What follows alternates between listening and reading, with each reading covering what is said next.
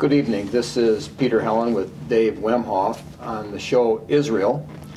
And to review why this show is called Israel, I'm just going to I'm just going to review that and and then we're going to present the subject for tonight.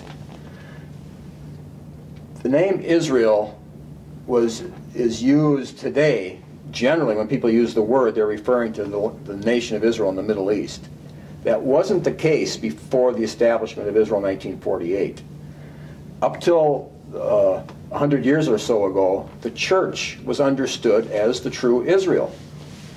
But with the publication of the Scofield Reference Bible, about 12 million copies, one of the, the most published Bible in the last century, you had a switch over to a different definition. And if we read his introduction to the New Testament, which most Baptist, most um, conservative Bible believing type churches, as they are referred to, held strongly to Scofield's notes. Now, if you read, as you listen to this part I'm going to read, you'll get an understanding, because this is what people in America ended up believing.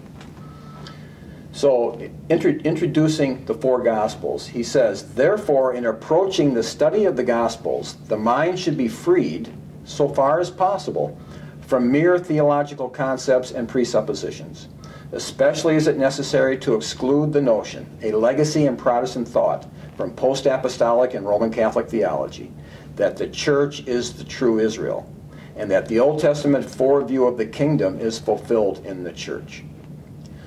So Dr. Scofield, who never was a doctor, never got an honorary degree, never never had any credentials at all, even slightly that he could call himself a doctor, yet everybody, even his enemies soon after, the ones that opposed him, deferred to him as a great famous doctor.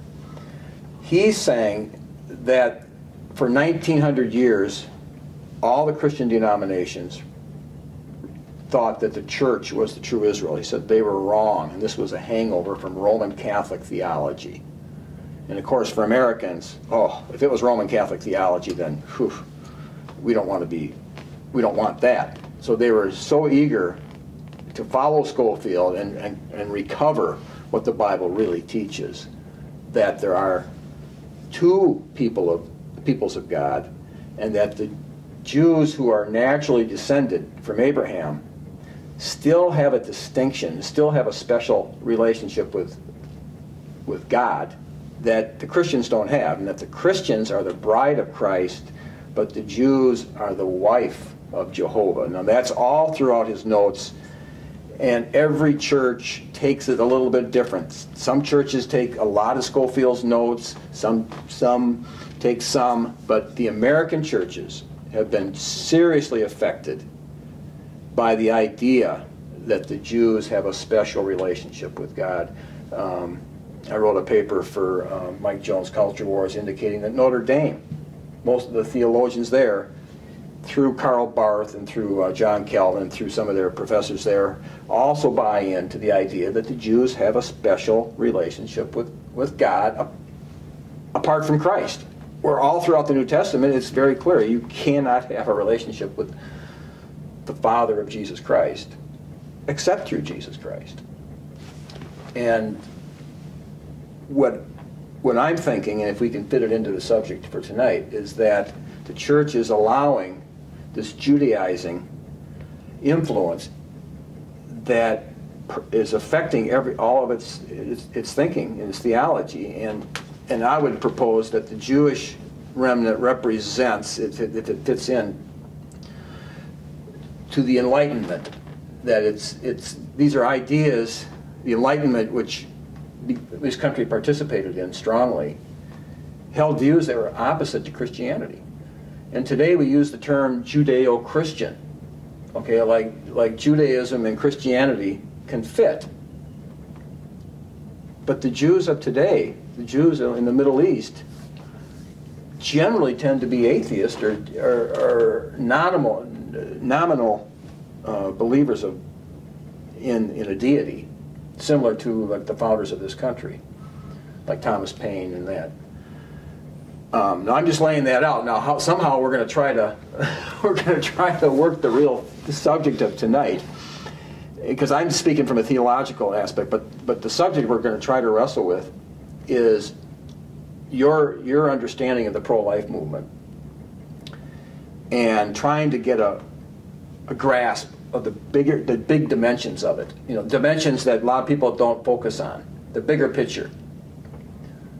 No, I, I don't know if that was, if you can say anything to what I said, or can you somehow? No, I, no. I, what I want to do is, you know, the theological. Uh, you you have a theological view, uh, which you know I, I'm not. I'm, I'm not going to argue with. I'm not presenting a theological view. I'm, I'm presenting my observations, like you correctly said, uh, on the pro-life movement and its and its significance. Um, but first, I want some caveats and, and, some definitions. I think that's important.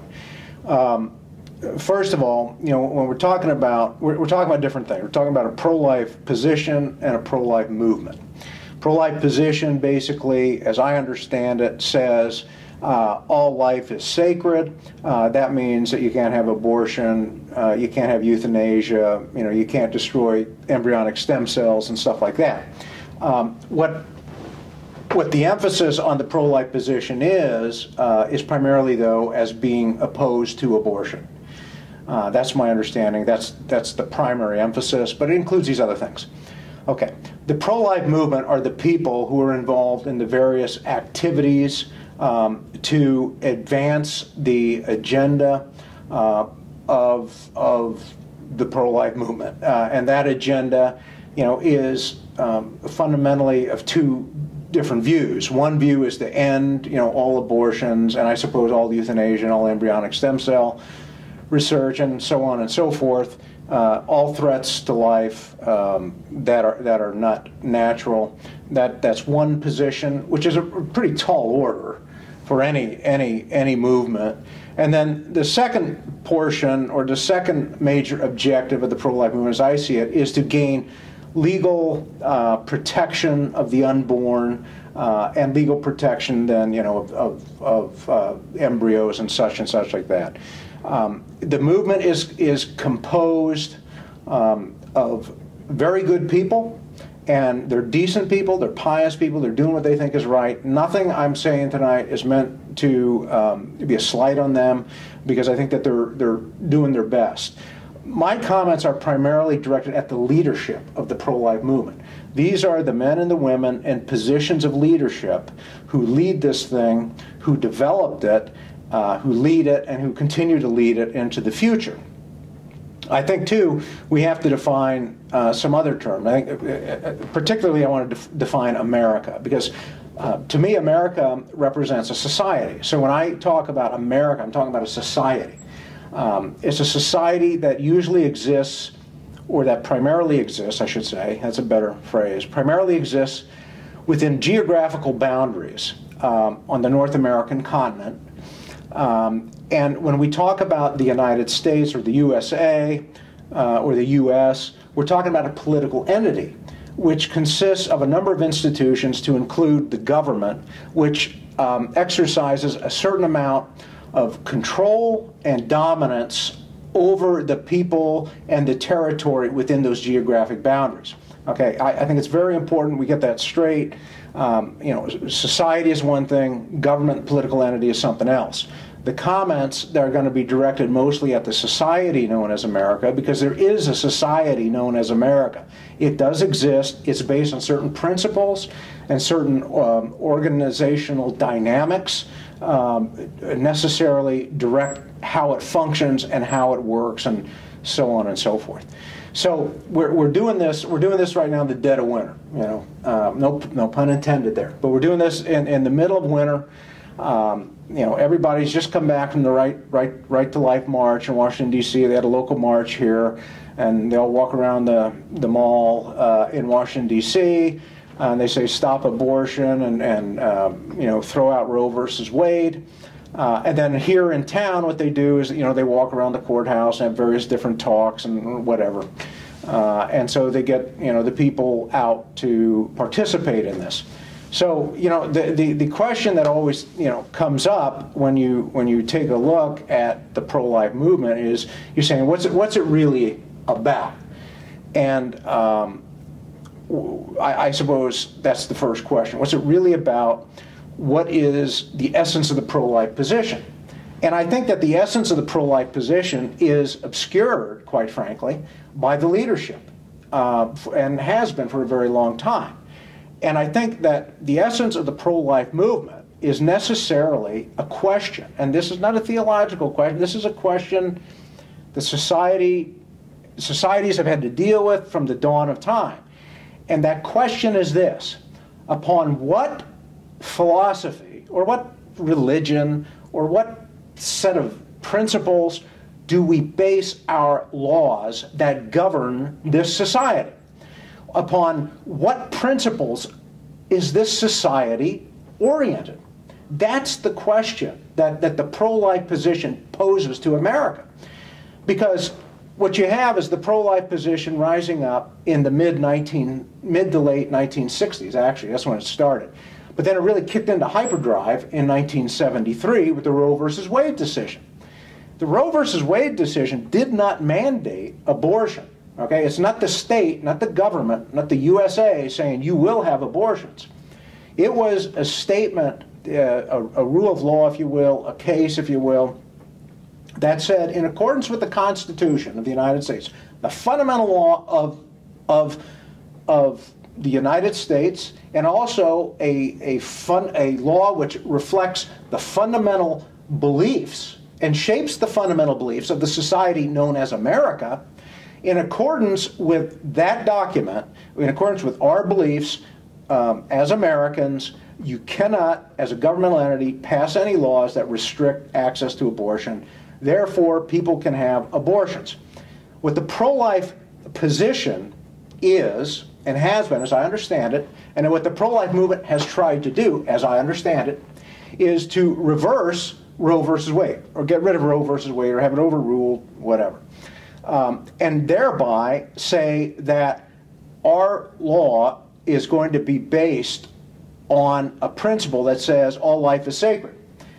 Now, a lot of people who are involved in the pro-life movement are, um, they call themselves Christians, okay? That's the reality of it. They say this is God's will, that this is the way it's going to be, and this is what God's will is. We have, we have to enforce this law. We have to bring about this law that does away with Roe versus Wade and protects life. The United States and the Americans say, well, you know, it's up to you. Basically, if you are against abortion, don't have one. You know, if you are for abortion, and some people think that abortion is perfectly moral and perfectly legal, then the United States government and America, the society, says, well, then by all means, you should have, you should be able to do that because we're pluralistic.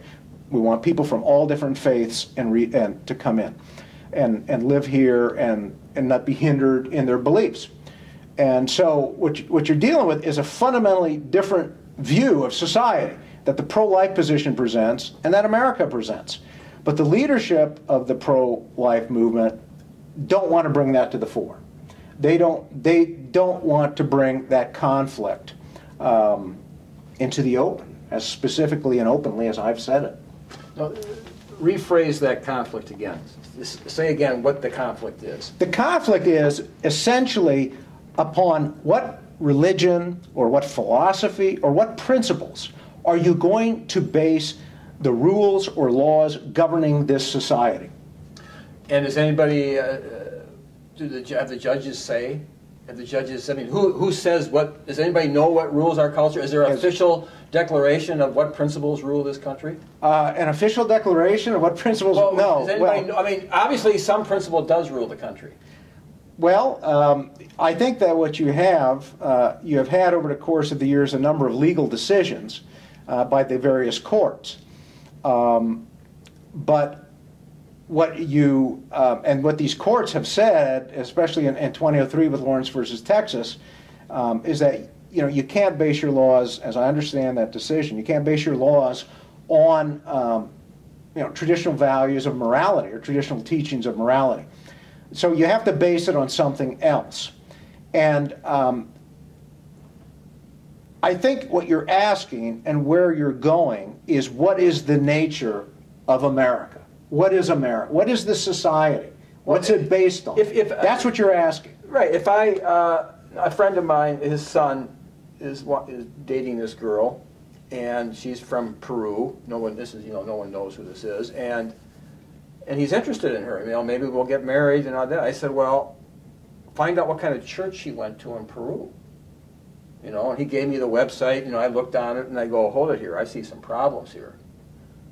In other words, she has been going to this church for five or six years. This is what she believes. These are her principles.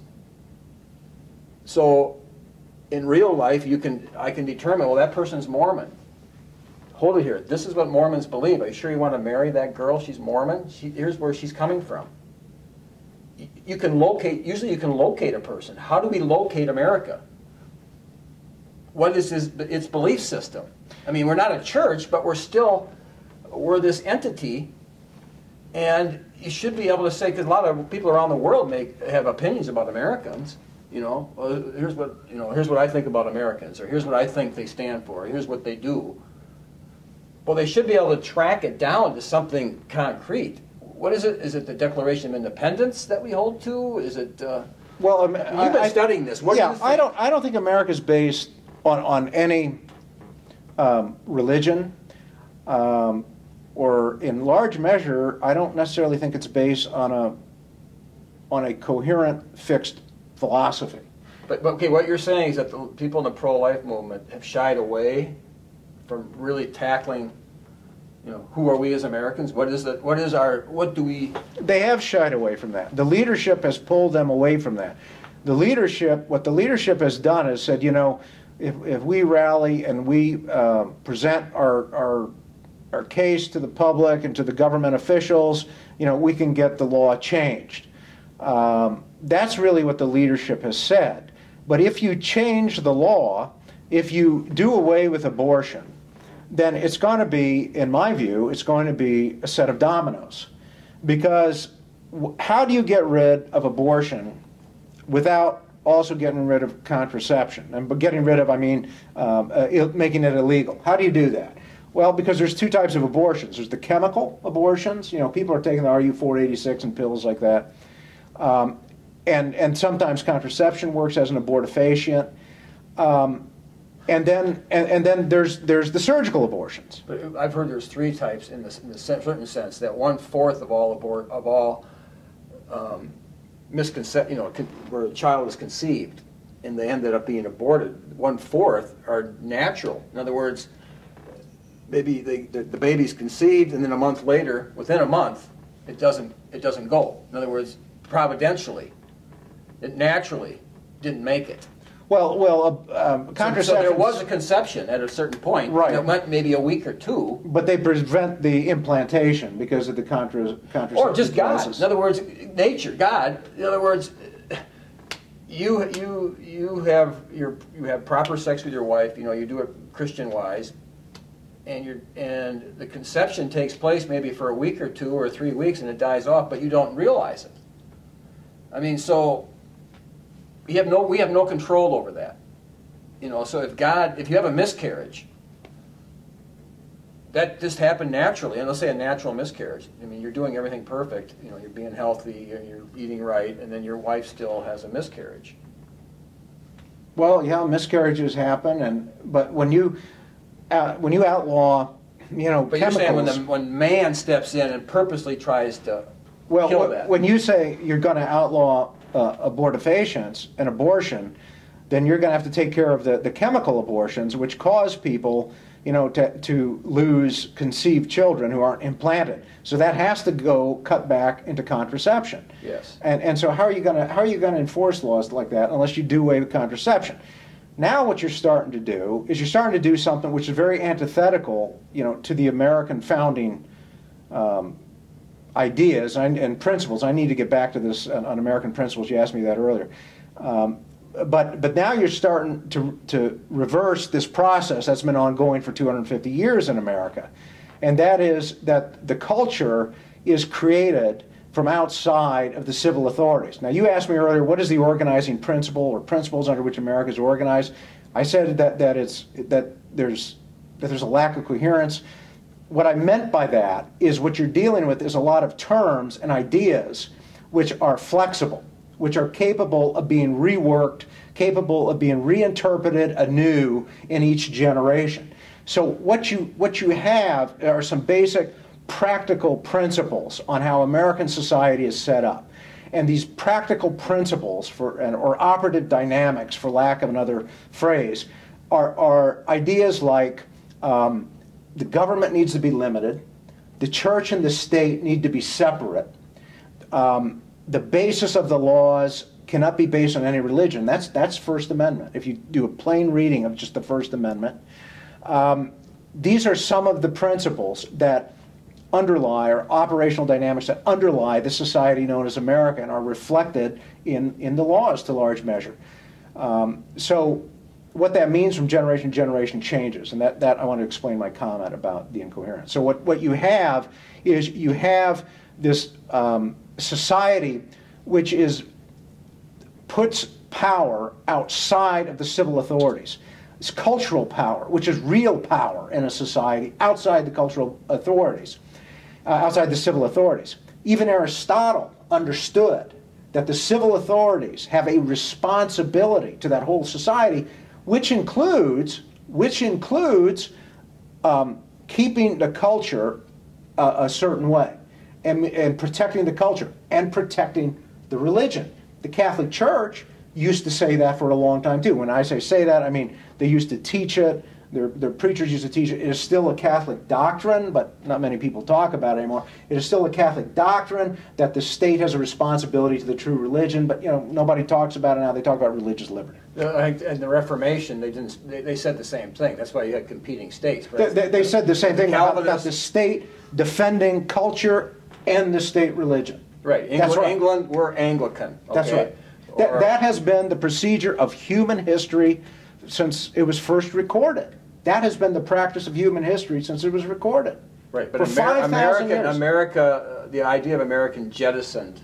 The idea of America jettisoned that. And, and I go back to Tom Paine. I think Tom Paine was a very influential character in the formation of this society known as America and ultimately the development of the political entity known as the United States of America.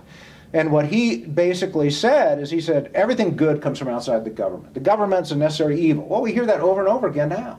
Oh, yeah. You know, and so they, they talked about a limited government, which is just supposed to do certain things of a, you know, of, of a very minor nature.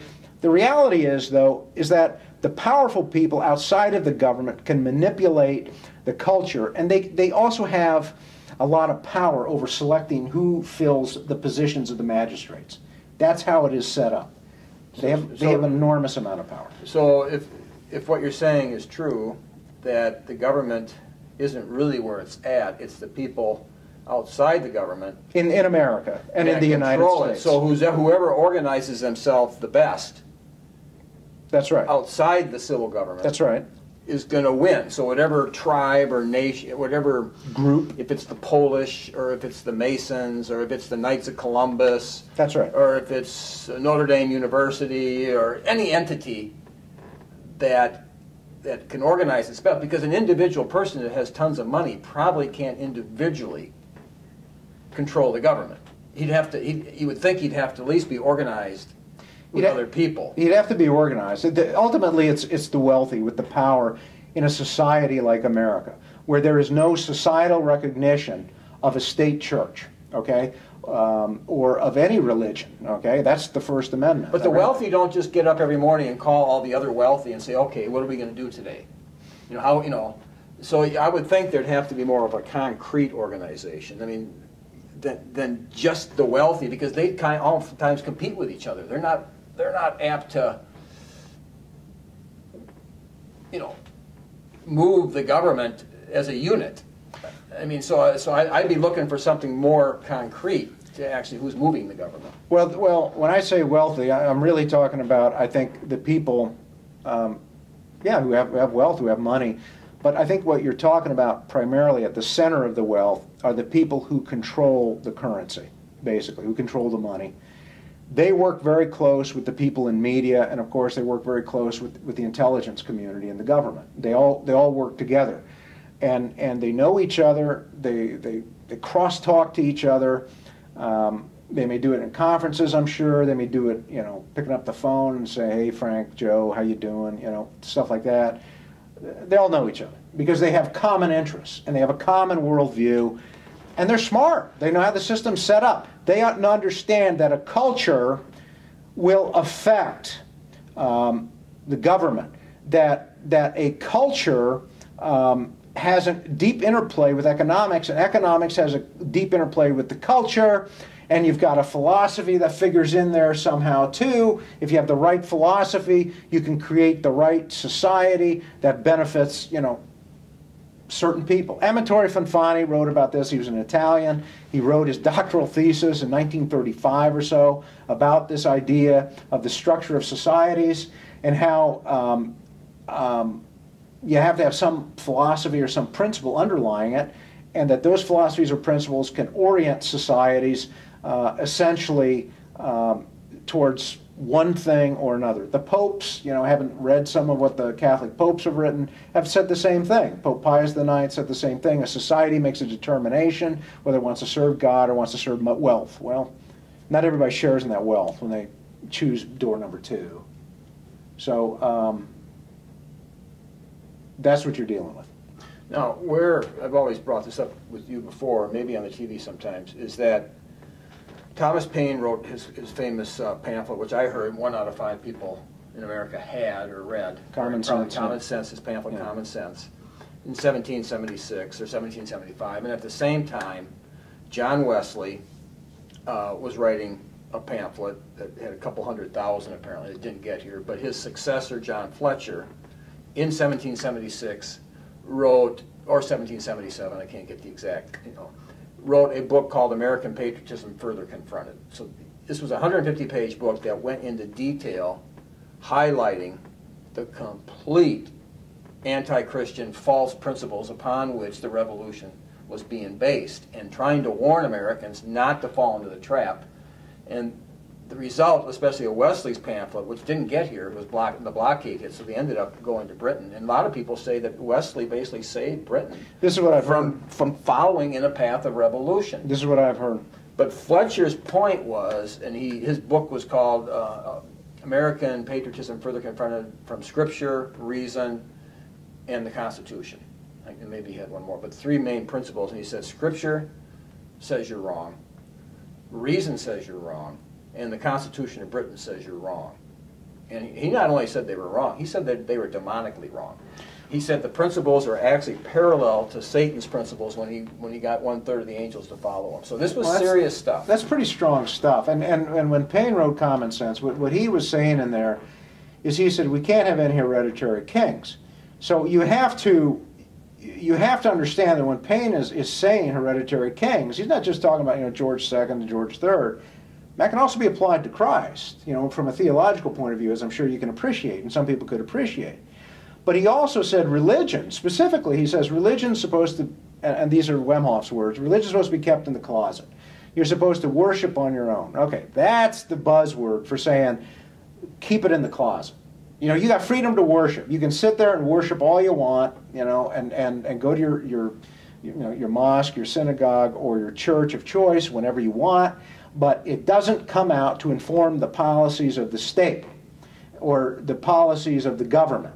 And in any event, as Paine said, the real power in society is in the society. It's, it's the entrepreneur. It's the, it's the civil society. And we hear this over and over again still today. So these principles live today. So if you want to go back to what, to what America is based on, it's, it's, it's sort of, I think to a large measure, you can argue from a theological point of view, it's based on a rejection of Christ. And it's based on a rejection of history.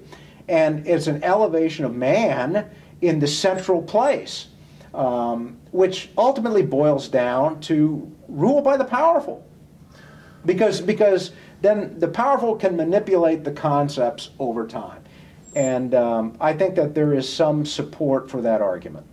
Well, uh, what um, Bob Dylan wrote the famous uh, had the famous song, you know, you must serve someone, okay? Yeah. But he, I mean, he had a moment where he was really trying to be uh, Christian in a lot of what he was doing. But but that's a concept he got from Scripture, and, and Jesus said you either serve God or you serve Mammon, Right. Okay. That- Which that's is how- wealth. That's how Jesus said it's either one or the other. He didn't say there's a third service. No. He said No. that you you either are serving God or you serve Mammon. Those are your choices. And America really had a choice. And what Wesley and John, his successor John Fletcher were saying, this revolution is taking you on the path, not of service to God, because Wesley said, you're trying to be, the freedom you're going after is freedom from God's laws. You're not wanting to submit to them. He said, that's what's really going on. And by rejecting Christ, there's only one other service available. That's you put that you're putting yourself at the service of mammon. And wealth, and, and that means wealth, and that means wealth in many things. And uh, you have to understand, America is, was, and probably always will be a commercial society. And um, which which which means what? I mean, well, can you can you break commercial down? Yeah, that, I think you can. That sounds so nice up here, but well, break it, it, down to its its ugly parts. Well, well, what what we're talking about is commerce, right? So you're dealing with trade. Which How mean, about love of money? I mean, well, what, what, would be a theological well, term? Replace okay, you know, the nice term. I'm trying to work this back. Okay, commercial, commerce, trade. You know, good trade in goods and services. When you trade in goods and services, you need a medium of exchange everybody agrees on. What that medium of exchange everybody agrees on is called money. Okay? Money is right now um, paper money, it's fiat money, it's created by central banks. So there it becomes the, the medium of exchange. So when you're talking about commercial, you're talking about a society that's oriented towards money, really, at the highest levels and the rest of the people try to get along and they, they're not really conscious of that or aware of that perhaps and i don't mean you know to fault them but but they are also too kind of caught up in this thing. And so what you see over and over again if you watch the tv even today because these principles have lasted 240 years these dynamics have lasted 240 years uh, since the founding of the United States or since the founding of the society known as America, what you see over and over again as you listen to the TV and you listen to people and watch things is, is it's about money. Saving money, making money, having money, having wealth, being somebody, being comfortable. And so the way that you get those things in a society like America is, you know, you have to kind of go along. You have to go along with that idea, with that understanding that um, Thomas Paine put out. Those yeah. principles, those organizational dynamics. Well, one way to find out where this the rubber hits the road on this idea would be ask people, which which you know we're from the '60s here. Um, some of the audience that are watching here from the '60s, as far as growing up, growing up there, and the big complaint I've always said of the '60s generation, when you got people from the 60s when they were all huddled up trying to figure out what's happening, the number one complaint that emerged all the time, the frustration was that their parents never gave them any spiritual guidance. There was no, no, no direction as far as truth, no direction. It was all about money, you know. And that's how a lot of people have been raised, is that, the, that what's important is getting a good job, who you are, is, you know, do you have a good job? Your job is very close to who you are and are you saving? Are you investing? You know, are you a real productive part of the society? Everybody has to make a living, I, and I don't want anybody seeing this saying, you know, well, you know, we're against making a living. No, I'm not. I'm not against making a living. I'm sure you're not either. Everybody's got to make a living. Everybody's entitled to the fruits, fruits of their labors, um, and that, that's not what, what I'm saying. I don't think that's what you're saying. The middle 1960s were an interesting time. Okay, that's when really the pro-life movement started to get going. And what you had in the mid 1960s, you still had the Cold War going on. And, and what you had is, you know, you had America as a society over here, and you had the Soviets as a society over there, and the world was kind of cut into two big camps. And so what you had with um, the people who, who started the pro-life movement, who were largely Catholic leaders, Catholic academics, you know, Catholic Catholic prelates. Large measure, they were Catholics. Sure they, they started this movement at a time when they thought that America is the ideal. America is great, it's good in, in its principles, it is the ideal. Um, life is good. I mean, things were really good in America but in not 60s. necessarily some of the students. Not some of the students. A lot of no. students were seriously doubting. They were. But you were also having the cultural mandarins, the cultural engines at the time, were starting to change the tune a little bit. Okay? But um, they were starting to change the culture by some of the things that they were putting out. But that change in the culture was a, perfectly in accordance with the operational dynamics of society known as America, with the organizational principles known as America. So you got you got the pro-life movement starting you know, in the mid 1960s, and basically it was just a statement saying, you know, we need to we need to protect the unborn. Um, otherwise, you know, America's fine. Let's just get a law in there saying we're protecting the unborn. And so that is that is the same idea that the pro-life movement keeps alive to this day. Um, they, they, basically are saying, you know, America's based on foundationally good principles. It's good in principle. It's a carryover from the Cold War, basically. And what you're saying, what you're having then, is you're having people saying, if we just change the abortion law, get rid of Roe versus Wade, everything's going to be fine. You know, we'll just go back to the way we were.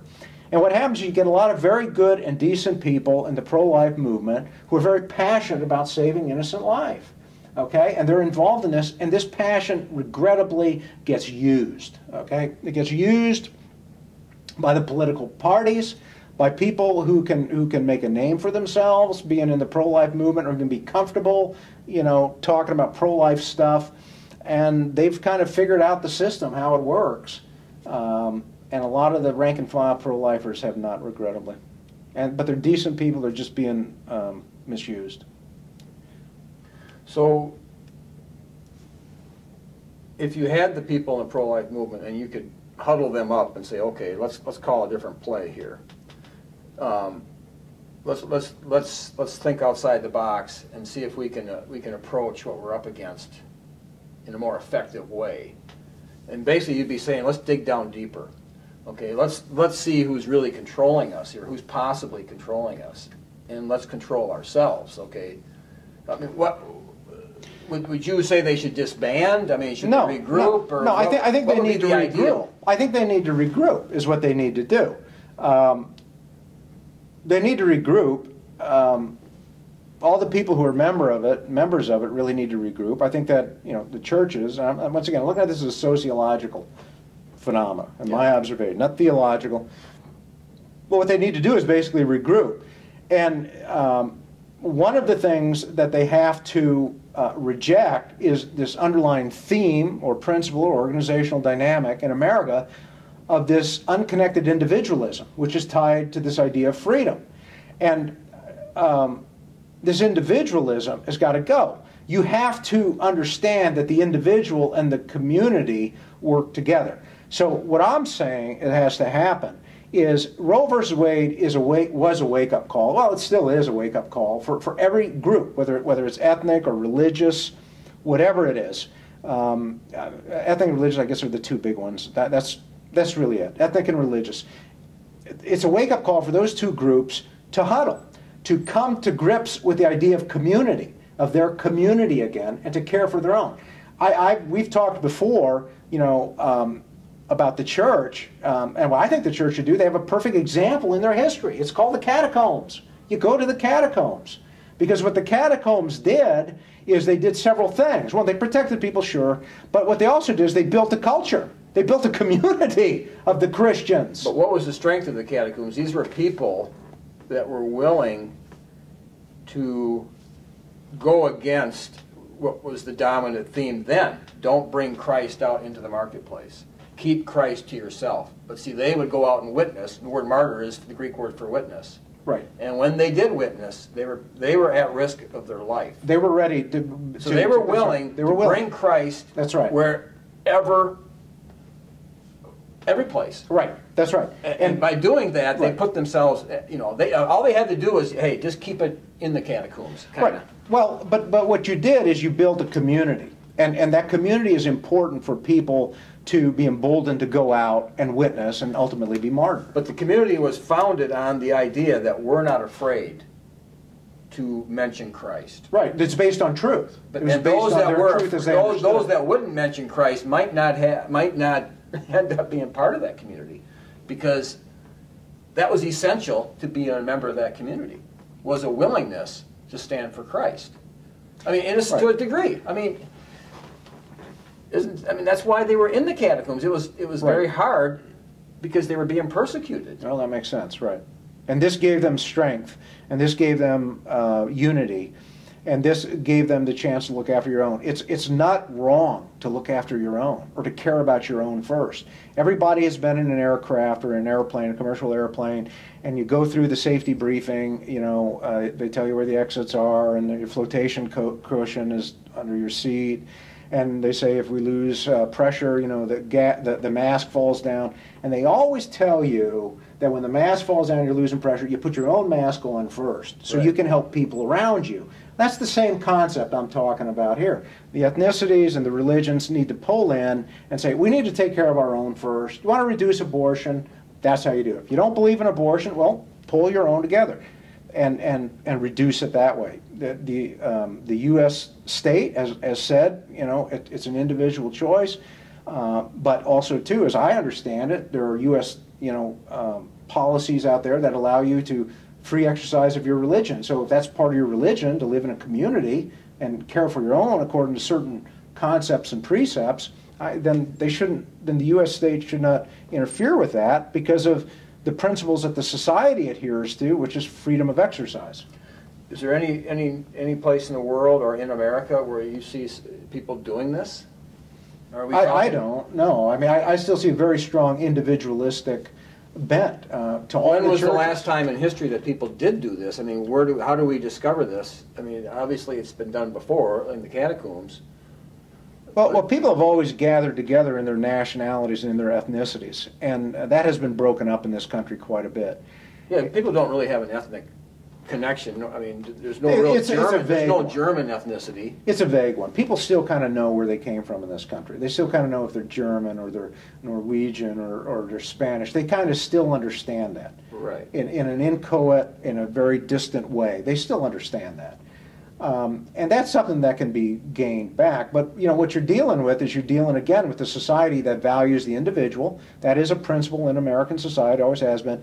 Individualism, which is very highly regarded, and material success, which is very highly regarded. So who wants to go to these, you know, social catacombs that I'm talking about? I'm not talking about digging holes in the ground and living there. I'm talking about these these social communities that, you know, that people are tight. They, they live together. Who wants who wants to go live in those communities and possibly lose the chance to go to Harvard and be somebody?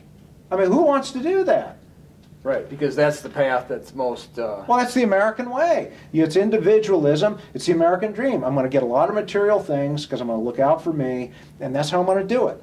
And so everybody around you then becomes a competitor, or they become a client, or, you know, they become an enemy, I suppose, well, to go to the theological. or an ally, I guess. You know. Can we take, can we draw on the theological extreme where the, the ultimate evil in the scriptures is Judas betraying Christ, which in a sense he was betraying the other 11 too, because they're all their lives were in danger. Yeah, he was destroying the community. He was destroying the community, and the, the, the specific reason he did it was for the 30 pieces of silver. Or he was trying to destroy the community. He hurt the community. Let's put it that way. And it used to be, if you read the old the old theology books, all the way back to Christ, is they really were looking at your money ambition.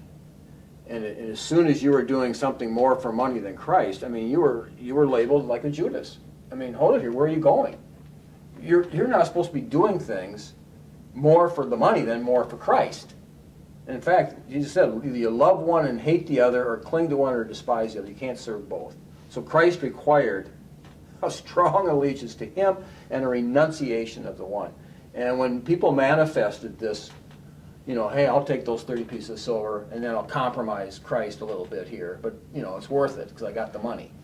But see, I think those principles are in common sense. I think in, in Thomas, Paine's. common, I, Thomas Paine's common sense, I think lays those principles out.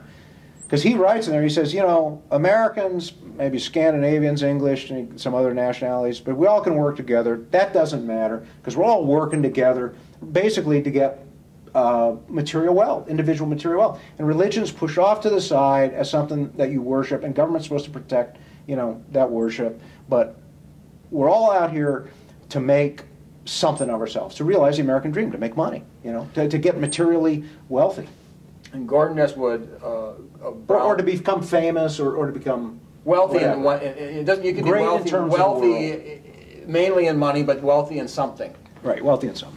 And Gordon S. Wood of Brown University wrote the book several years back called The Radicalism of the American Revolution. And he said that the founders, many of the founders, felt that the revolution was a failure because they were hoping to replace the British uh, um, this aristocracy, British type of aristocracy with a merit-based aristocracy, and that they would find all these Cincinnatus, you know, these, these people that were just concerned about the common good, apart from any self-interest, and he found out, basically, there wasn't any. If, if you read the Federalist Papers, it's all about playing interests off and one interest off another. It's about a balance of interests, usually commercial interests. If you read those papers, all 85 of them, that's what they're talking about. Now, sometimes they mention religion uh, and religious groups and sects, but they're talking about basically a an alliance between powerful interests. And so you can say, you know, going back to your earlier question, you can say another operating principle or uh, organizational dynamic of America is power, is the ability to wield power effectively. Who's got the power rules. Because, but because what the revolution did, it, first of all, it stripped anybody of any ethnic connection, which was a British That's connection. right. So they were no longer British. They're no longer British. They- In fact, they were Very ashamed of it. They cursed the king. They Yep. renounced. 1776, something called an American came into being. That's the reality of that year. Right, and, and it's to be noted that these people claim to be Christian, most of them. They claim to be Christian. They claim to be. You know, a lot of the followers, maybe some of the leaders didn't, but they claim to be Christian. And the teaching of Scripture, of course, is to honor and obey the king and pay your taxes. And it says it all throughout the Scripture. And before all things, pray for the king and those in authority. But basically, what they did, they cursed the king. They cursed anything British. Benjamin Franklin's son was governor of New Jersey. They put the governor of New Jersey, Benjamin Franklin's son, in a dungeon for several years, okay? Because the son said, Dad, this isn't right. Yeah. Our duty, I have a duty. To the crown. I have a Christian duty to the, to the crown. They have not done something. And John Witherspoon, the leading, the only cleric, the leading cleric, president of Princeton, and John Adams, both came out and strongly said that King George was not a tyrant. So you go, hold it here. What's going on then? No, what you had was you had the British Parliament passing a lot of acts that the, the um, Americans didn't like, or that the colonists didn't like. Right, but these are all the British people, the, all the whole, all the British people represented by their representative in Parliament, Right. saying, "Hold it here, you guys. Well, the You colonists, you don't control us." well, the colonists were arguing we weren't represented in Parliament. That's what the colonists were arguing. Would you feel you're represented? I mean, what's? I was never represented in Parliament. I can tell you that. Well, I'm just saying. tell I'm you that. does any American? I mean, this, what's this idea of being represented? I mean, is anybody ever really represented? I mean, you can't tell your representative to do what, you want all the time. But, but Well, well, that's when you get into the discussion of form of government. Is democracy, is a, is a republic, and that, that's that whole discussion. But the, the point is, is that Thomas Paine is a key, because John Adams said without Thomas Paine, the, the revolution wouldn't have occurred. It wouldn't have occurred. But however, soon after the revolution, uh, people started, uh, Thomas Paine, well, first he goes over to France, to try to get, try to get the same revolution going in France. That was his purpose. And Thomas Jefferson went over there to seed our revolution to over there. It didn't work going to Britain, because Wesley and those guys. Wesley okay. right. But, And then Paine was tried in absentia in Britain and convicted of treason, I believe, or Yes. sedition. right. So So, he- but Thomas, never went back but Thomas Paine didn't give up the cause, and he writes another book. All right. Age of Reason. Age and in there, he point by point is trying to disprove Christianity. Right. And that was Abraham Lincoln's favorite author, Thomas Paine. Yeah. Because Lincoln, according to everything I've read, also wrote a book, about a 40-page book, trying to disprove Christianity. And his people that were over him said, you're not going to go much Right. if that gets published, so they, they, they, they got rid of it. Right. Okay, I don't think that was a myth, but people have to look into that. But, but Lincoln took up the banner of his favorite, which was Thomas Paine. But the problem with Paine was when people in America found out that he was totally trying to destroy Christianity, which they didn't see in common sense. They hated him. I mean, about, what, eight to ten people showed up at his funeral? Americans despised Thomas Paine. But it, the damage had been done. They don't despise his project, they are the project. I, I think that's right. His document crystallized the society. I mean, you know, whatever went before kind of fed into it. But what you have now is this society which is based on this idea that people are motivated, you know, by self-interest and desire for material wealth, and religion is relegated to an inferior uh, position to be protected and to be private. Government is supposed to be limited, um, which, as I think I mentioned earlier, is complete break even with Aristotle. with, with the ancients. And 5,100 years of recorded human history, and there's no state religion. The United States was the first secular state. It was the first society to renounce um, a state religion. Um, without the American Revolution, there would have been no French Revolution. But if you take a look at a lot of history books, um, you know, they just kind of go over the American Revolution, go right into the French Revolution. Right. But, but what I'm saying is the pro-life movement latched in the mid-1960s. Again, America was brought up, you know, as the ideal. A lot of the leaders of the pro-life movement um, were Catholics, and they had come to believe that America is good in principle. It's based on on good principles. But if you cornered them, It's not the ideal. If you cornered them, what are these good principles? Obviously, they're conformity to God's They're going law. to say freedom. They're going to say it's freedom. Well, this is this is why I said earlier it's an incoherence. They're talking about freedom. What, what are they talking about? Freedom. Freedom. You know, Janet Joplin said freedom is uh, when you got nothing left to lose. That is one definition of freedom. Um, but freedom from something or for something, you know, what are you talking about? I'm sure it does not jive with Christian freedom or theological freedom. I submit to you that the idea of freedom is one of these ideas which is redefined, and hence my comment earlier about the incoherence of these principles. But it's a, it's a, it is a, it is a idea which is redefined generation to generation to justify something else. You know, now it's being used to justify so-called gay marriage. You know, uh, Yeah, in the name of freedom. in the name of freedom, right? It's in the name of freedom. So if you're an American and you believe in freedom, I, I think to be for gay marriage. Well, that's what yeah, John Wesley, when they wrote a couple hundred thousand of his uh, uh, pamphlets at the same time that Thomas Paine, 1776, which Right. didn't get over here, basically. He, he, he, he said, what free, he was addressing the whole theme, freedom, and he said, freedom, it's freedom from God's law. That's Yeah. what you guys are fighting for. How insane right. is this? Yeah. And, and basically, hold it here. What's our government? You can't pass a law if it's based on religion. You can't pass a law if it's. uh, Hold it here. Where are you getting that? You're getting that from the Bible? That's illegal. The, the Catholic leader, leaders of the 1960s, um, uh, you know, the bishops, the priests, uh, a lot, lot of priests, the academics, a lot of the wealthy and, and well-heeled and well-connected Catholics, uh, really bought into America as the ideal. They bought into this idea of freedom, which is a floating definition. Um, but they forgot they forgot their own history when they went over when the Catholic bishops went over to Vatican II. They were intent on making a mark on the council, an American mark on the council, and that was the the Declaration of Religious Liberty. And they were talking about freedom, um, you know, throughout this whole process. And so what you had is you had.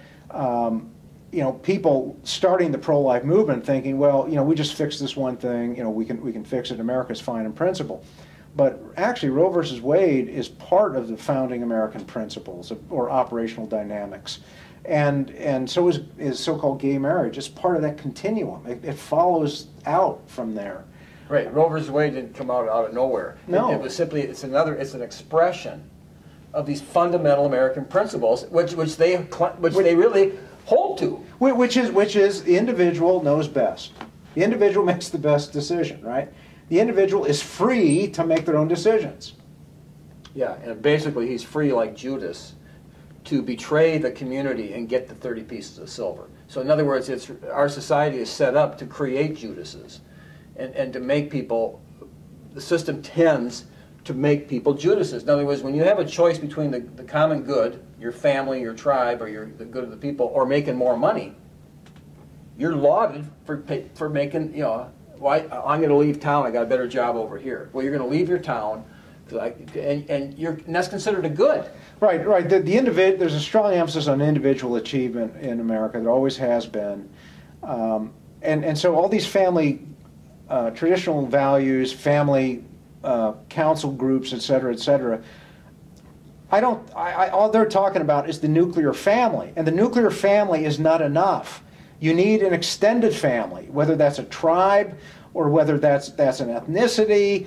Uh, that's the what you need, or the the Christian catacomb. church and the catacomb. You need that, but these guys never talk about that because that ultimately goes against the foundational principles of America. We're going to have to go into that the next show, because we're uh, out of time. I think we got one or two minutes left. Is that what we have? We got uh, another three and a half minutes. Okay, we got three and a half minutes. That's a lot of time. Okay, now, if we were going to have another show, where do you think we could uh, where can we take this? Uh, What are, what are some things that could, where we could pursue from here? Well, I think that one of the things that we can talk about is um, the idea um, that some Catholic leaders, and I'm saying Catholic leaders because um, you know the Catholics are, are have a very um, notable organization that still seems to function to some degree. Uh, the Catholic leaders um, are starting to question America. Uh, one of them uh, was Michael Baxter, who um, is a professor or an adjunct faculty or visiting professor at one of the Catholic schools up in Chicago. He used to live here in South Bend, but he recently wrote an article for America Magazine in which um, he really started to question uh, the basis um, of the modern state, which the United States is, of the society known as America. He started to question John Courtney Murray, the Jesuit theologian, who really brought the Catholics, not just in this country, but around the globe, to the idea of America as good in principle, if not the ideal, of societal organization. He's questioning those ideas, and he's suggesting a new uh, paradigm for Catholics uh, which is the small community based on the so-called natural law, which there's many natural law definitions as there are people um, on the planet, I suppose. So we can talk about that, I suppose. Right, because that's an interesting development, Yeah. and, and, and you've looked at it, you read an article, and, uh, you wrote an article for Culture Wars, which I read the article, um, because you see some flaws in his position, Yeah, I do. which makes it for interesting discussion. I do, yeah.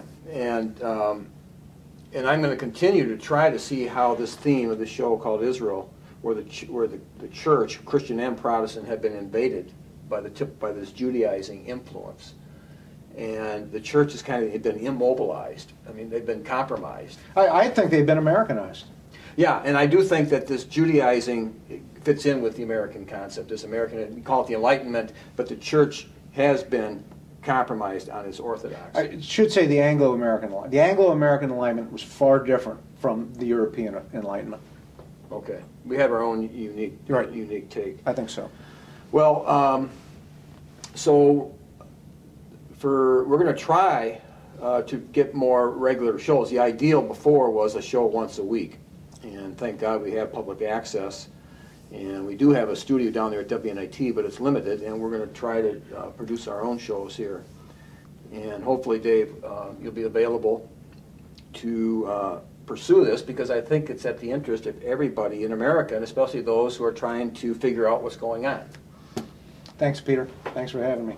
Okay? Thanks for doing this. Okay, so till, till our next show, uh, may the Lord Jesus Christ bless you.